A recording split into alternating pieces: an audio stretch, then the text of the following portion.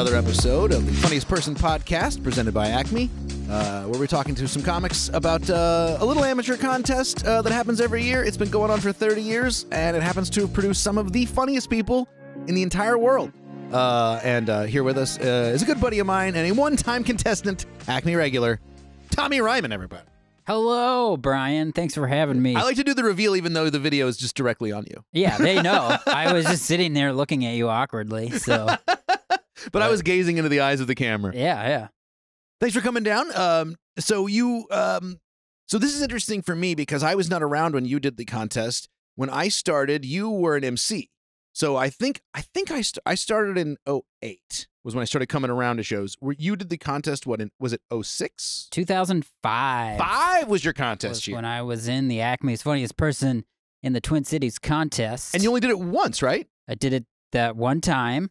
I only did it once too. Yeah, I think all. I think the real ballers do it once and then we uh we ascend, yeah, or or we hang out and do open mics for two more years and then we get paid to do Exactly. comedy. You know.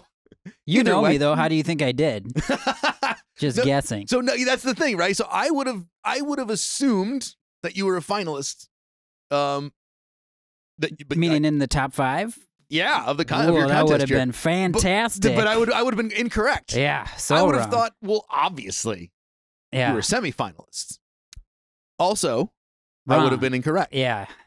You were, you, you didn't make it past the first round. I'm very curious to find out why that is. But so first off, had you done much or any stand up before you did the contest? So I started coming to Acme January 3rd of 2005. So was it a classic uh, New Year's resolution situation? No, it wasn't. Hmm. It was just a random. I had uh had been listening to a bunch of Mitch, Mitch Hedberg, got into stand up. My sister was coming to the mic here, so I just randomly your sister figured did out. open mic. No, she watched. Oh, well, she, just she was just like she just was a regular. Yeah, so she was Funny. like, "You should do it," because I was kind of And you'd always liked stand up before that, I assume. yeah, like I mean, I got really into Mitch Hedberg and a bunch of the Swartz and Dane Cook, like that whole Comedy Central Sure. class of those half hour Were you specials. and were you aware that Swardson was a local guy? No, I, I learned that. I didn't know anything about comedy. I didn't understand that you could like work your way up and work at the club. Like Mhm. I thought you had to have a new three minutes every time you came. Like I was very well, naive about the whole how comedy worked, which may have helped me or may have not. Brandy but- said the same thing. I think I think a little naivete goes a long way Yeah. beginning.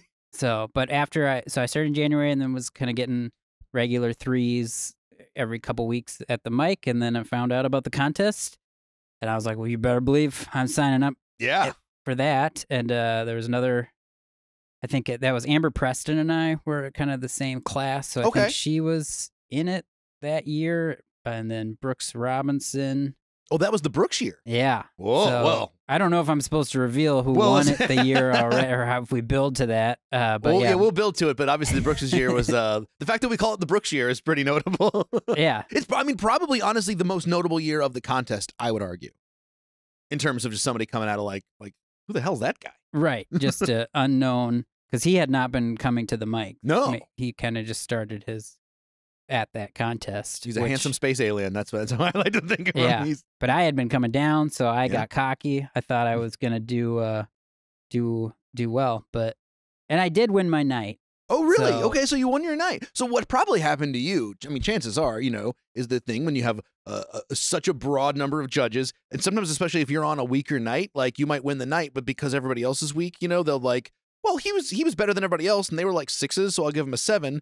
I always tell people you're almost better to do well on a night with a couple other good comics because then they go, well, they were all pretty good. I guess I got to give one guy tens. I'll give this girl nine point five, or you know. No, I know who ruined it for me. I oh, know, you do?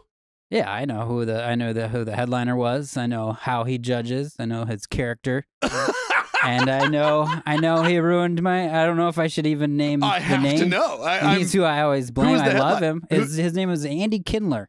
Andy uh, Kindler. and I oh, think- this is wonderful. I think he took his job too seriously. and I think he did give me low. And because I was going, I literally went against what I remember is two of the other comics in that room both had guitars. oh, One person did not play guitar. So I was, I mean, walking in, I was like, well, I, I have this, right? like it's already done. would you say so? They brought the guitar on stage but didn't use it? Yeah. Well, he just probably, he's like, oh, I thought this would be funny to have. And then, and then he's like, I don't even play guitar. And I was like, I'm going to I'm just, I'm just cash that thousand dollars now. you were already buying Legos in your yeah, I was like, this is fantastic. Andy Kindler's nice. I love his humor. He's probably gonna love me too. And, and he does love you. That's the funny I part. know. No, I Have you ever with him many confronted. Andy I've about never confronted him. Well, Tommy, behind the curtain, we have Andy. No, that would be uh, that would be a, a big budget thing Yeah. for us to fly Andy Kindler in here just to just to Jerry Springer you on this podcast. Uh, but cut to a few years later, one of my another one of the times I auditioned for Last Comic Standing, uh, it wasn't at Acme. I, I flew out to New York. Louis got me at that audition, Hmm. and Andy Kindler was the judge. It was Giraldo and Oh, yeah. Natasha, and I had I was early in the morning, and and it's such an awkward. It's like empty Gotham Club, but they did. I did my audition for that, and Natasha goes no, and then uh and Greg uh, he was like, ah, you know, we're good. And they had already passed like two people right in front of me that I was waiting for. And then Andy goes, well, like, ah, I can't do anything. I was like, really, Andy, you're not even gonna help me in this this contest. You already you ruined zeroed the me out in Acme all those years. Yeah. So I hope he doesn't find out. I feel I love Andy, and I really Of course, he's a- I he's think a- he. He's the nicest guy. He's wonderful. but he No, is- you know what? You, but you're right though. He probably, honestly, he probably did take it more seriously. And I and I do think that I really do think there's a disadvantage to being on a night uh, with a lot of scrubs because there's a, there's always a relative tendency for everything. And so you're like, well, like, well, I gave those guys fives. Like this guy's pretty good. I gave him sevens, but that don't help you none in the yeah, getting into the finals or interesting. So were you pretty? Uh, were you pretty? Uh, how did you take the news of not making the? Uh, oh, I? I mean, I think I w- I thought I was pretty convinced I was get in, and then I didn't, and then I just moved on with my life. Like I was still get in regular time, and I got an extra extra large Rolling Rock shirt the night I won. an extra and extra I got to- large. yeah, and I I got the excitement of winning, and So you got a robe. yeah, but and the the club saw me. You know, so Yeah. I did my thing. I made my, you know, I just didn't get to uh, two more rounds. And who knows what could have happened? What if I did terrible in those and it made me look worse? Then they're like, well, we can't even put him on again. Yeah, on this is- get rid of this this guy." guy is done. That's that's really interesting, and I think that is a good. I mean, that's one of the things I wanted to talk to you about because I do think a lot of people, and especially I think this was more of a thing like in our like when your era and then the beginning of my era, there was kind of a thought at one point that it was like, if you win the contest, you're going to get hired because a lot of people around that time, the winners did get hired. But I mean, I've talked to Louis about it since, and it was like, well, it happened to be that the people who turned out to be really good later happened to win the contest. But it wasn't like a direct correlation of any kind. Yeah, there's no Yeah. rhyme or rea- And I don't even know if that point at the contest I knew how you got. I, I must have known that you can get hired at some point, but I didn't know the process of. Who were you hanging out with at that point? Like, My mentor at that time was a guy named Chuck Bartell. We all just know. saw him last night. Yeah. And he I would so I would go on Mondays and then I would leave or go go to the bar after the after the set, they'd hang out and then I always asked Chuck like, What should I what am I doing? How am I and he would just go, Just keep writing. That's all he would tell me. And that's all He's I right. did. Yeah. I was like, Great, great advice. But that's Did what Chuck I do the tell contest? everybody. Did he win? I don't know Chuck's history of the contest. I'm I'll have to ask assuming he him. probably was. I got. Yeah, he. I've got to talk to Chuck about. but I'm sure it's He's- all been scrapped from the internet and, and hidden for He's so funny. Um, interesting. So yeah, so you were, and because I think you were, maybe were more like me, like because I joined. I came in 2008, right? I remember the one of the first nights I out at Grumpy's was when Andy had lost. And then came in and was really drunk and just like roasted everyone at Oh, Grumpy's because re- she was so mad. And I remember being like, both like, oh my God, this is so funny because I'd seen her before and I thought it was so funny. But also, it was like, dang, I missed the contest. you know, like I just narrowly missed it. So I, I I prepped for it all year, and it was a really big deal for me. But at the same time, like I wasn't gonna like stop doing stand up if I didn't make the semis, or I wasn't gonna like stop coming to Acme. Like I was in at that Yeah. point. I was working, or I was I was trying to get to get work regardless. But uh, that would have stung. That would have stung a little bit. Yeah, cause and then I didn't get hired until the following spring, spring of 2006. So That's that was that summer far. of 2005. I, I didn't get hired for over a year after I did. The, yeah. So, but but yeah, I and I came. It was Brooks that came out of nowhere Yeah. from that that contest. But then he started regularly coming, and he was fantastic. And then I think it was Amber, me, and Brooks that kind of got hired all within that same. Yeah, and you guys all worked there. You guys were all the new MCs. I think maybe Eric was the newest MC when I first started coming here. Yeah, I think Eric kind of did it the year after. I think. Yep, Did he yep. win the contest? So I think you guys had been working here for a little bit longer, and he had just gotten hired. But Brooks will say, well, for Brooks is the only, as far as I know, he's got to be the only person who his very first set in the history of him doing comedy was this prelim round. His, he didn't even do the practice rounds. I don't think. Did didn't he? show up. he didn't show up for they- the because you could show up on the on the mic and get a, like a little practice spot before your time. He just did his first set was the second set was the semis. His la- third set was the finals, and he won, which is crazy. Yeah. It's crazy. but he's he was a talented, He's charismatic, handsome yeah, yeah, young man, very distinctive. You know, and I think that's one thing that people um and also was not judged by Andy Kindler. Just want to say that his prelim, there was no Andy Kindler. Who knows? Probably Jackie Cage, some phenomenal, wonderful, nice warm-hearted Laurie comic. Kilmartin Yeah. was boosting his scores. Someone giving easy tens, flying out of the back. I do think in contests too, you know, Brooks is a really distinctive, you know, or like Andy has such a distinctive onstage character. Where I was like a guy like me who's just like, I have some interesting thoughts. You know, I'm a regular guy with interesting thoughts. It's harder to stand out when you go up against somebody, you know, with like with Andy, you just see this huge personality, and you're just like, well, I'm kind of magnetically drawn to that. You yeah, know? but, but but that's comedy contests. and- all of them. Oh, all of them, absolutely across the board. Yeah. Um. So you do the contest. You you you don't make the semis, but you you, you bounce back. You uh. Did you were you there for the finals? Did you go watch? Yeah, I think I did because there was I had gone to like watch every finals for like a ton of years in a row. There, Oh, interesting. was- Just as a fan of comedy. yeah, yeah. So you were pretty familiar with like the kind of mechanics of the contest of sorts. yeah, or not before, but starting with that Oh, st- okay, yeah. and after I started coming Right. every fall to watch the the finals. Yeah, I've seen I've I seen could. most of them since I since I started. Judged a bunch of them. Yeah, We'll talk about judging in a minute too. Um, I mean, Yeah, yeah. non Kindler talk. um, did did you? So so you so you didn't you never considered doing the contest again. You weren't like I'm gonna hold out and see if I try no, because I got time." hired. I, then Well, I you were already hired, because yeah. the rules were you couldn't Right. be a paid comedian. But you, were were you in, in any capacity thinking about like if you hadn't got hired here, do you think you would have done it again, or were you already getting paid at other like spots? Ah, there wasn't a lot of spots to get paid when I started because it was literally Acme was the only club. That was when I, Knuckleheads had yeah, closed, Knuckleheads right? had just closed, so the Acme, and I was literally just hitting mics. But no, I didn't. I, I didn't. I mean, I got hired that March or when Right. they tapped me on the shoulder, so I didn't even think about it coming up. Because I had thought about it after I didn't win. I thought maybe I'll wait one more year because I was like, how much money am I really going to make if I get, you know, at the time I was just an open micer too. But then I was like, eh, I got a couple offers and I was like, never mind. I'm taking this money. I'm not doing the contest again next year. And, uh, and then, and then also that, but it probably kept me and Nate from killing each other because Nate didn't do well my year. And, and let me tell you, when I talked to Nate, we're going to talk a lot about the year that Nate didn't do well. Um, but then the next year he did quite well, but we didn't have to go against each other. Wow. Well, that's good. Yeah. So you. And then we just competed about every other thing for the rest of our lives since. But that one thing we did not compete on. But Uh, you're still in it, so this hatred is keeping you both going. Because a lot of people I started with are gone. They're- yeah, yeah, yeah. they're No, you gotta have you gotta have a uh, pace horse or whatever, you know. And they know I was just side eye each other and keep on going on. Um, so you got hired. So you got hired pretty fast. So that that that takes the sting out of the contest for you. record f- fast. Probably one of the fastest people ever hired at this club. Louis Well- was like, "I gotta lock this kid down." We'll send, Brilliant. we'll send this clip to Andy Kindler just so. no, it is funny because Andy. I, so I hosted for him, and then when I got bumped to feature, I think Andy was one of the first or second comics that I featured for. It might have been Eddie Gosling, but I love Andy. I just oh, of course, no, of course. I don't want this to be a real anti. This No, it's is much an funnier. anti. It's much funnier that it's a good comic that we like that gave you zero scores than if it was like some jerk who doesn't do comedy anymore. Like it's much funnier. Yeah. Um, and then you of course wound up at one point you were living in a, you were living in an apartment with uh, with Brooks and Eric Allen. So you were there was it was just contest winners ahoy. You were yeah, you, it was just were- contest winners and then and, a and you, weird, but you already worked there, so you didn't matter. weird guy that didn't make it to the semifinals. But Then that was that that was that stretch though with Brooks and with Eric. There was a little stretch there where they did the winners did all get hired. Like I said, not I- in retrospect, correlation, not causation.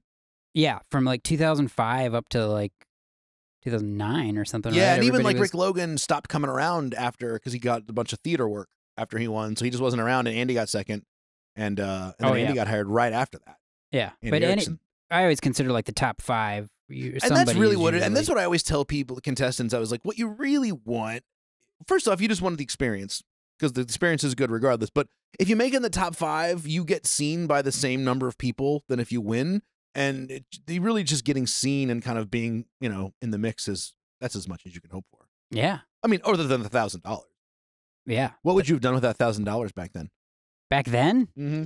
oh man, uh, probably paid off credit cards or bought something stupid. Okay, because assuming. now the answer is like mortgage. You know, we're we're both we're both adult, we're responsible just- adults now. yeah, But back then, thousand bucks was uh yeah, that would uh, go. I spent at the Green Mill on two dollar gin and tonics for Totally, next pizza year. slices. Yeah, because you know because one of the oh, I'm going to interview Aiden McCluskey, one of the newer winners, who's a really nice kid, and uh, I remember the I talked to him the next day after he won his year, and he was like he was like 19 or he's really young when he won, and he like rented a hotel room and like ate, some edibles and ordered pizza at like the W Hotel, like with his winning money or whatever. Like it was really funny. He basically did like Home Alone 2 Lost in New York.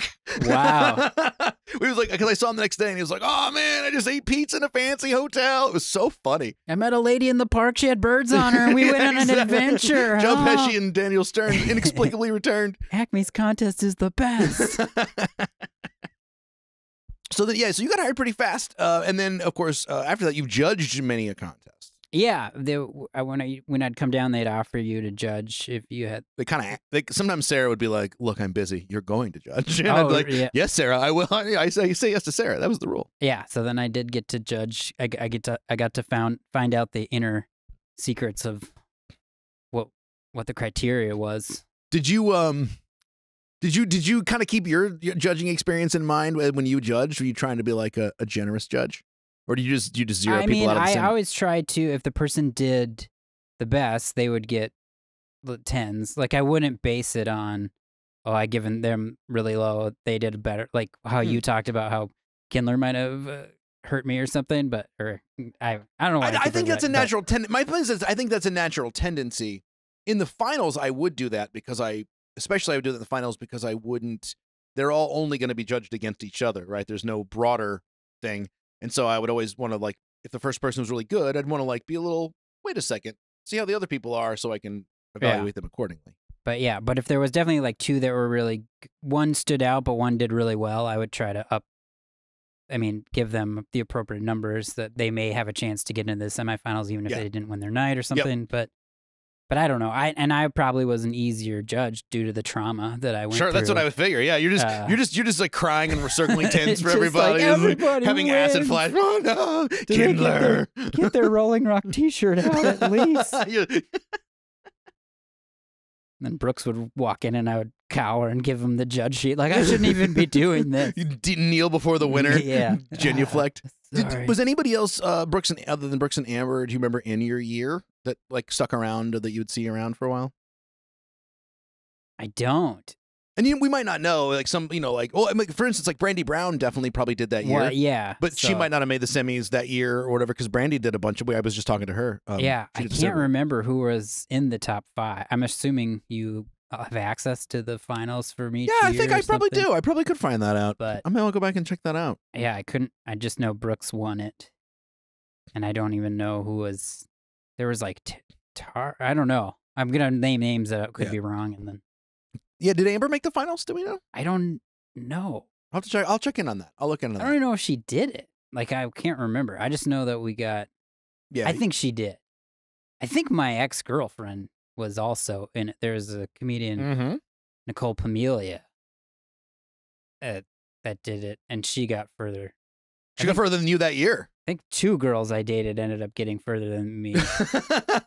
well, you're like the good luck Chuck of the funniest person. I had to give him the insight. I was like, just make sure you don't have Kindler judging you. You're good to go. Get that Kostaki week. He's a pushover. yeah, He's Greek. He just gives shit away. Do not bring a guitar. What do you? What advice do you have uh, for? Con- I assume people ask you for advice, right? Yeah, What do you when when they ask you for advice? What do you tell them? about gen- comedy in general or the contest. Both. Uh, I mean, I think they should have their set prepared for the contest. Know what you're doing. Don't wing it. Uh, Yeah. And uh, and uh, you know, try it uh, uh, at a couple mics before, and then and if you're wishy washy, make sure you can you just commit to something, and then uh, and do your best. Don't go over your time and have fun. But but uh, yeah, there's no. And then in comedy in general, I just say just keep writing. That's what Chuck Bartel. Get stage time and write, and then Yeah. And then everything will fall in place for you. Do you have you uh, you've done you, now? You also won uh, a lot of other comedy contests. Um, so you you've vindicated yourself. You won uh, Gilda's Laugh Fest, I believe. Correct. Yeah, I did win the best of the Midwest. So uh, That's a big one. so this was Twin Cities. This would be a larger market that I won, and the cat the cash prize was a little higher. So maybe I took that one more seriously, or I just you know, maybe I feel like Louis might have called him and be like, "Look, Like- he's so upset that he didn't win. You got to give him this one." So when I- we we both lost Great American, right? no, you- that's the one I won. You won Great American? No, no, the Great American Comedy Festival. Oh no, yeah, Great American. I did not. I did not I win that win one that either. either. That was a fun one to not win, though. I enjoyed not winning that. Yeah, and now they don't even do a contest because I did that festival again, and then Right, exactly. They just pay you. Yeah. Do you? Uh, what's your thought on comedy? Do you like comedy contests? Do you? uh Uh, I I mean, mean, nobody- I, Yeah. I do. Well, I mean, my huge break was in a comedy contest for Last Comic Standing. That's when a I good made point. it To the semifinals, and they're great when you're doing well. It's like these are the best things ever invented. Uh, but I mean, they're just part of it. You just Yeah. get. It's just like, no, they're not that fun. If if if being like, yeah, I'm still a good comic, but I didn't win that. But it's, it, it's all, uh, whatever. It just It's like it's that day you weren't the best, yeah, right? Or in that knows? circumstance you weren't the best, but it doesn't mean you're always going to be worse than those people, or that you might not be better than those people the next night. yeah. I know? mean, they maybe they if people do a comedy contest, they should be like, well, if you didn't win, you have to quit. Like. like a Highlander they- situation. Yeah, if they just put in more, you know, it might weed some people out. It would, you know, there'd be more opportunities for some of us. But yeah, I, I do think, and I, and that's one of the reasons I really like the funniest person contest. Is it's a, a I think because it's an amateur contest, and because it, it the the criterion's more small. You can't have been paid. You have to be brand new, basically. yeah, And so it, you know, it, it takes away that weird thing where like you do a comedy contest and you're like, this guy's been on Letterman seven times, and I've been doing comedy for four years, and we're competing for the same prize. yep, I think the scope and the, the the closeness of the scope really helps, and the fact that it's three minutes every time. I think, um, because I, I had asked Louis before, like, why well, why don't you go to five? And he's like, well, then it's a different contest. Like, being funny in five minutes and being funny in three minutes is different when you're new, hugely different. right, He's like, we're not looking for the closest person to a professional. We're looking for the funniest amateur, yeah, and then you can try to be professional after that, which I think is a good. that makes sense. Yeah, I think I think it makes sense. I think it's good. Uh, it's the it's I think it's the the comedy contest that's as close to I would say it's about as close to fair as a contest can get because everything ultimately art is subjective unless you get killed. But even like you know like in, in any, any given night, you know it's like a, or even in a football game, like you know maybe the Bengals don't win that game against the Chiefs three out of four other times, but last Yep. Sunday they did.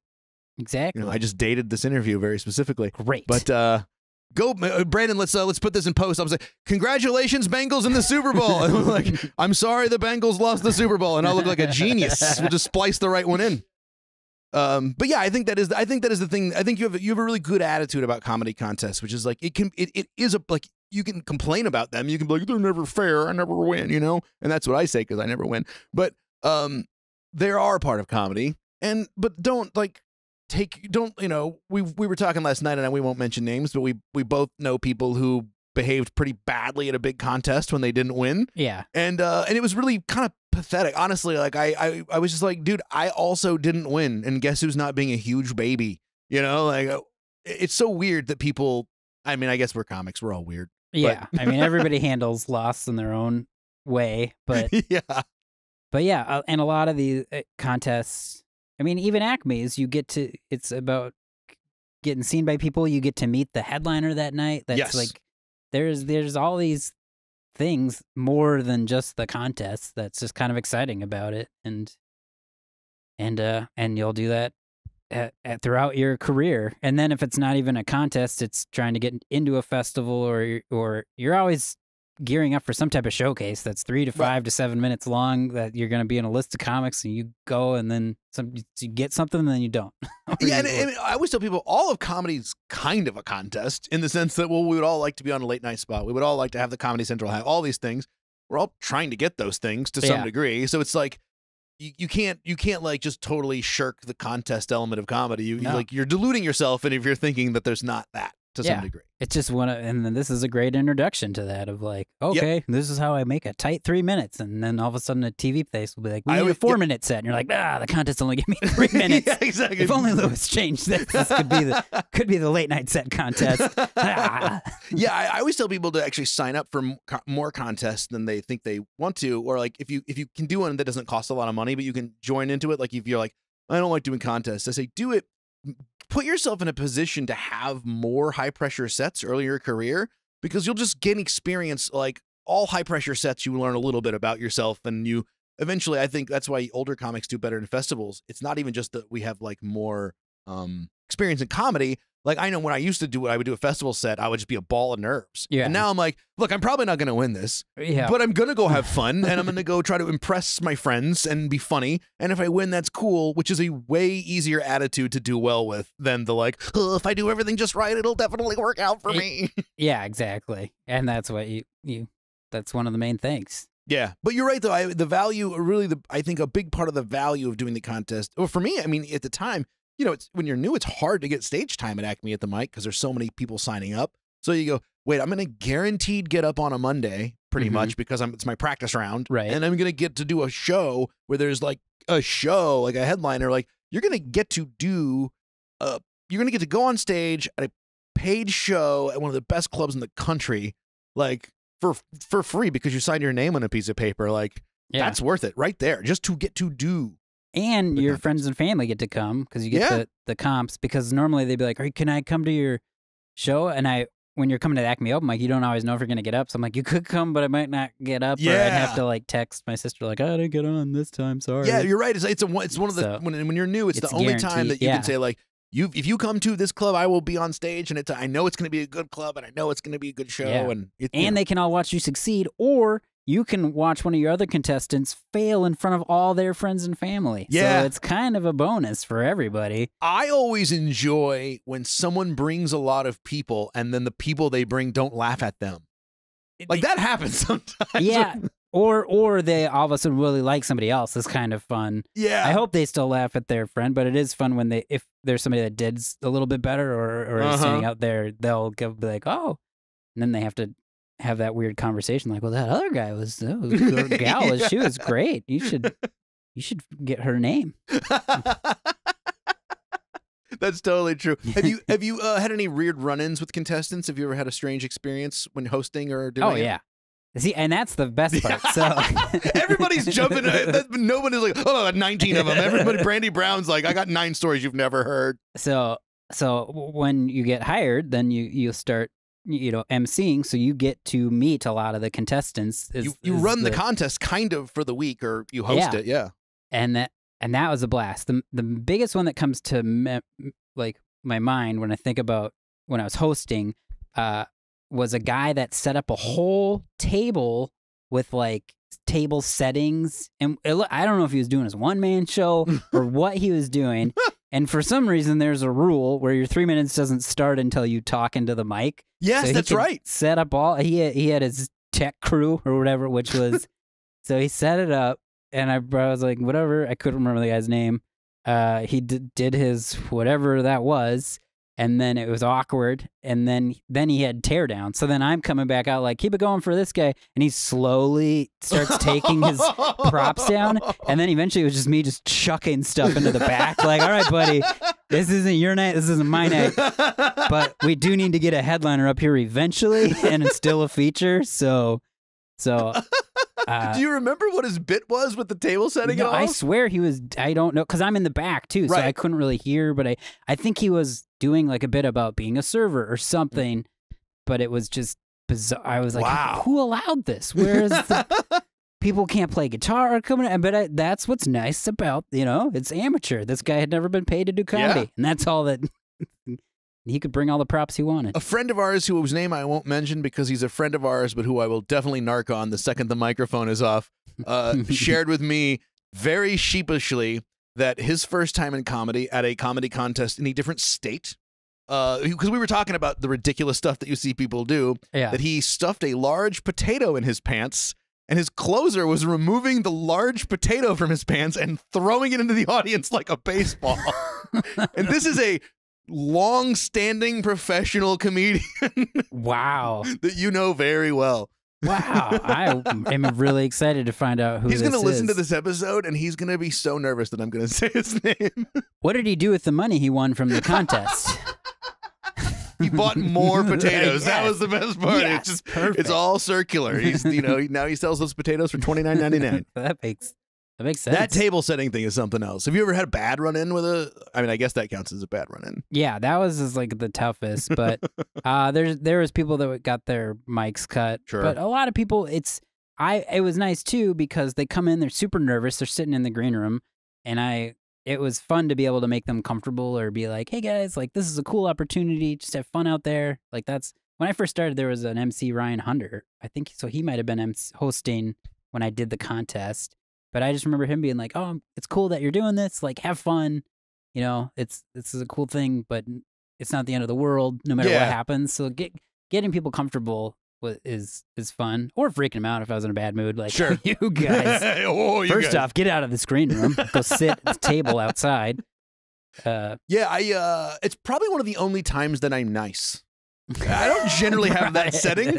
But I do feel obligated to be nice to the contestants because I remember it's they're so nervous. I was so nervous, and I'm like, I should probably. I don't like try to freak them out usually, Yeah, you know, unless they're like real jerky about it. I usually I try to be nice. yeah. No, they're all they're all excited. A lot of them have been playing. You know, have thought about it, and so And then sometimes you'll see them, you know, like I said, uh, there's there's always a few people that come out of the contest. Doesn't mean they win it. Doesn't mean Yeah. they're even in the semis. But you, it's like, oh man, I saw this. I saw this girl in the finals, and then two years later, she's getting getting work all around town. yeah. And then I have fans that did. They're like, wh- when I do my show here, mm-hmm. will come and be like, "I was in the contest when you were hosting once." They're like, "So Yeah, so yeah, they'll- exactly. Because I, I I like that part of hosting is that you do. I, I always enjoy working a week of the contest, and No, yeah. but I also enjoy fun. it from like because the managers have to do all the hard work, and I just mostly get to watch. You know. Yeah, uh, Also, I always enjoy hosting, like especially when I was hosting, uh, which I only did for a year because I got promoted before Nate Abshire. But um, when I was when I was hosting, um, you know, the first week of the contest, you're like, ah, sweet, it's the contest. We're gonna have so much fun. And by August, when you you've hosted like four weeks of the contest and you've put up with all the Yeah, yeah, contestants, and you're like, oh, the finals are almost here. We can just host regular shows starting Yeah. in October. yeah, yeah. Because for the host, it's a lot more work. Whereas like the feature and the headliner, it's like whatever, it's just fun. But yeah, host no, you're bringing every Comic Con. You're taking them down their sets if they brought. kind of wrangling them a little bit. You kind of have to wrangle because sometimes they get a little drunk and wandery. And I had a a, Yeah, yeah. a very good friend of mine who does comedy very well now. Uh, was super drunk his night, and I was trying to like, I didn't know him at the time, and I was just like managing this super drunk kid backstage, trying to like pour him on and off stage, and now he's very successful, just potatoes falling out Just of his potatoes pants. falling out of his like, pants. What's happening? like you do. Yeah. You know what? We should have had the potato guy and the table setting guy. They could have done a whole food thing. You know, they'd have, they could have been, they could have won. I just feel like if you're gonna have props, you need to be put in a prop category. There needs to be prop night, not And guitar night, Yeah. If Louis would let me reorganize a little bit, uh, so people and and their different levels of types of comedy. You know, I don't think a guitar person, in all the years I've been here, a guitar person's never won. But uh, was I mean Mary Mack? Did she perform music in hers? That's a good question. I don't think she Mandolin did, but she might have. That's interesting. She might have done a song. I'll have to ask her about that. Did she win it though? that No, year? she uh she got third. Okay, but she did make it to the yeah, top. she five. made it to the finals. Tim Harmston won that year. Yeah, she met her husband too. That Because, was, uh, Tim that was told- the real uh, prize. a story that the story that Tim told, told, and I'm sure we'll we'll talk about it when they're there, is that he after the night after the contest, he said to her, "I think thinking he was being very romantic." Uh, I think you should have got second. you were really good. You should have got second. I love that. Even when you're hitting on a, on, on, a- beautiful, talented girl out of your league, you're like, I mean, I'm still the funniest, but like, you're lovely, and I would love to date you. You know, he's like, he still could, he couldn't just say you're the best. Yeah, it's so funny. Good job, Tim. and it all worked out for them. How to woo a lady and Well, yeah. So, uh, yeah, yeah. Any, any, any, any gen- general comedy advice for people before we uh, head out? Any new comics watching? Other, than, Uh, other than the Bartell advice? is it just- besides just keep writing. Oh man, I don't know. That's the only thing I've ever been told for Yeah, the last fifteen years. It's, and it's gotten us exactly this far, Tommy. yeah, it's, it's great. Uh, but yeah, no, just uh, do it. Do it if you love it or are interested in it all. Do go for it. You have Yeah. nothing to lose yeah, and it, gets and it gets, everything to gain. One thousand dollars, life changing. and it does get so much less scary. Uh, I, I, I mean, even after the first like 15 times you do it, you're like, oh, okay. Yeah. I think I can do this. I think the first 14 times I blacked out, but the 15th time I was like, yeah, I think I'm think I'm focused now. No. Great. Well, thanks for uh, coming down here to do this, and uh, Thanks for uh, having let's, me. Let's go. Let's go judge the hell out of the finals this year. We haven't I'm- judged in a while. I'm excited to see this this new contest, how it's going to go out. I'm how it's going to play. All right. Well, thanks very much, Tommy, and uh, we'll see you here uh, at Acme real soon. Okay.